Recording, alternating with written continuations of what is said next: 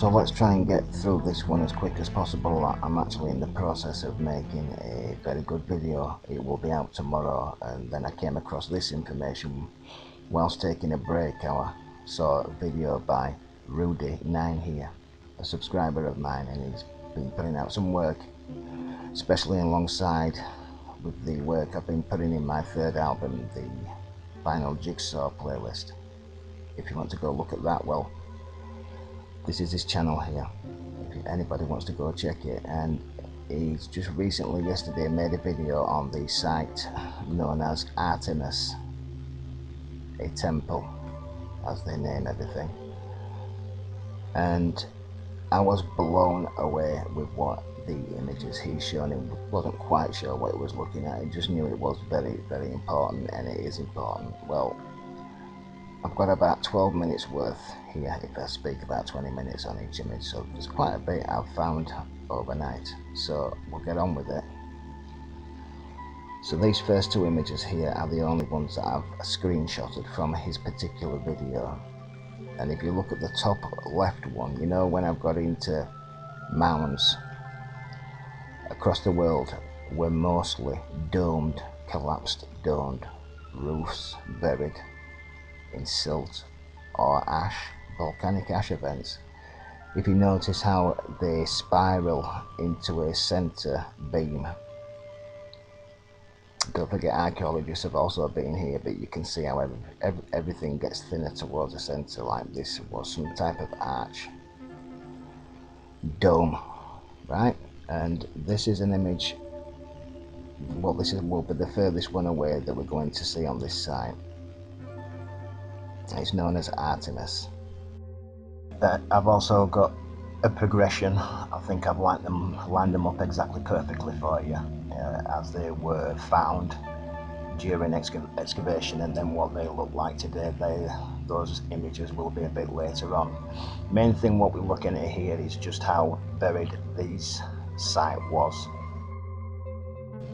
The main thing that I am trying to point out during this video is the fact that there are no foundations, no pouring of concrete to rest these huge megaton pillars onto and all these walls. You've got to pour foundations to rest this stuff on to keep it stable, right?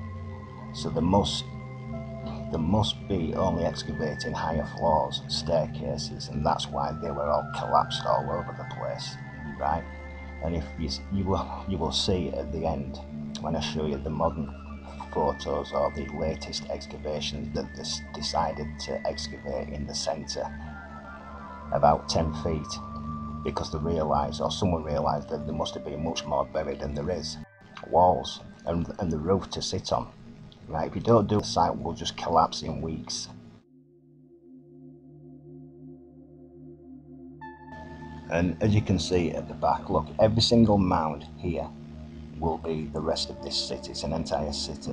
This just happened to be the tallest, the most grandest within this area. That's all. That's why they've excavated it. They could then excavate the entire area. Anyway, this is that image where they've decided to dig down even further during the centre because again there's no pouring of concrete for foundations so there has to be a lot more buried correct yes correct anyway for those in the megalithic team and mainstream archery, this is actually what it takes lift, walls, and, and the roof to sit on. Right, if you don't do the site, will just collapse in weeks.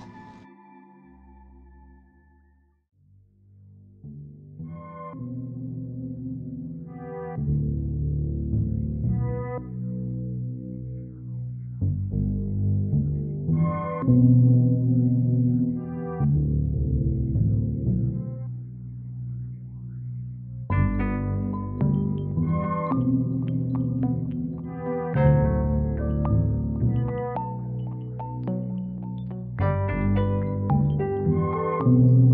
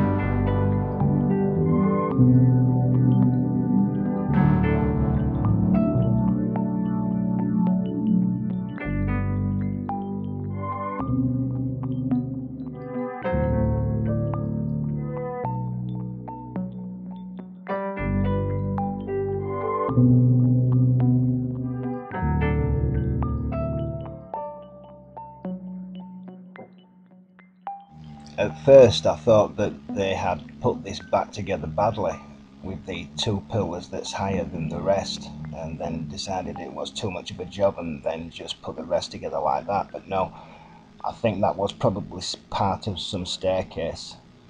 It will have been a higher staircase because there's no concrete foundation below these things. That's a lot lower down. Uh, this one here you see these square holes? They're not nubs everyone talks about what these nubs are. I will get to that one day. Obviously we can't throw a blanket over everything but I, I can answer at least 80% of what the nubs are soon enough. Well these holes that seem to be around every single circular block section I can't say for sure if they were caused by the reconstruction of this where when they were lifting them into place they needed somewhere to grip or if it's something ancient. If it is ancient then it's something to do with what they layered it in.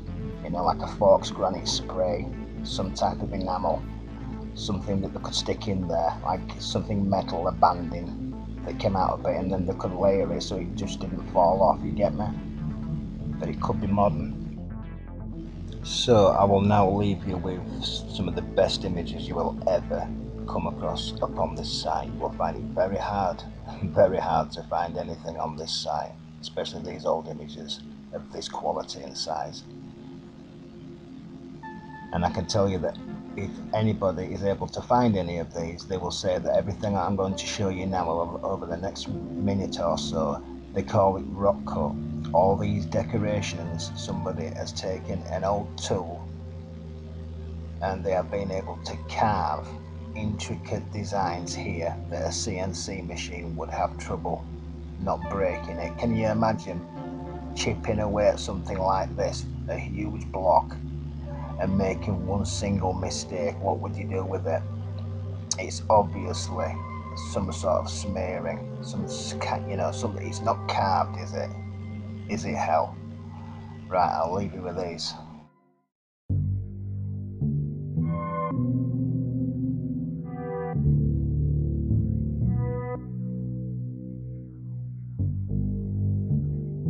So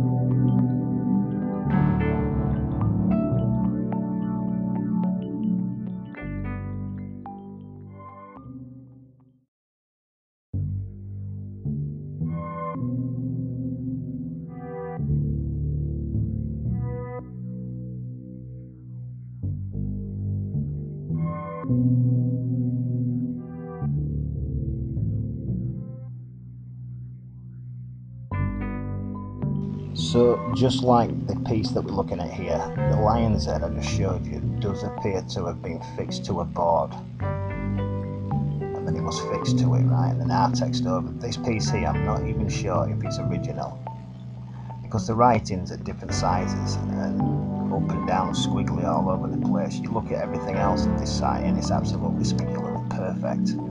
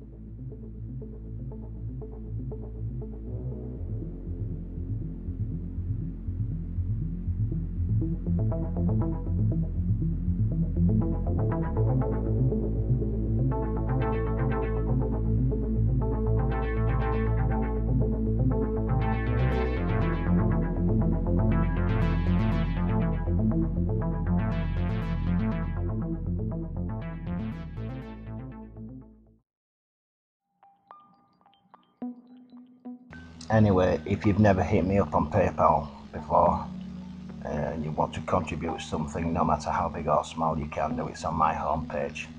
Those of you that have, thank you very much.